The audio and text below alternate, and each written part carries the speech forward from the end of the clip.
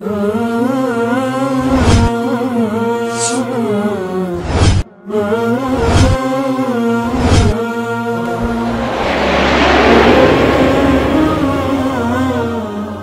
بعض المشايخ يؤثم الموافقة على الدستور عشان هو مش واخد باله إن فيه قيود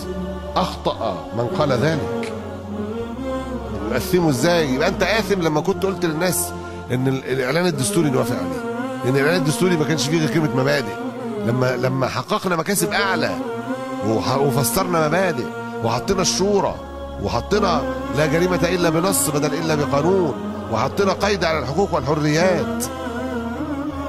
تيجي تقول بعد كده آثم من قبل هذا الدستور عشان أنت بتفسره بطريقتك سامحه الله هداه الله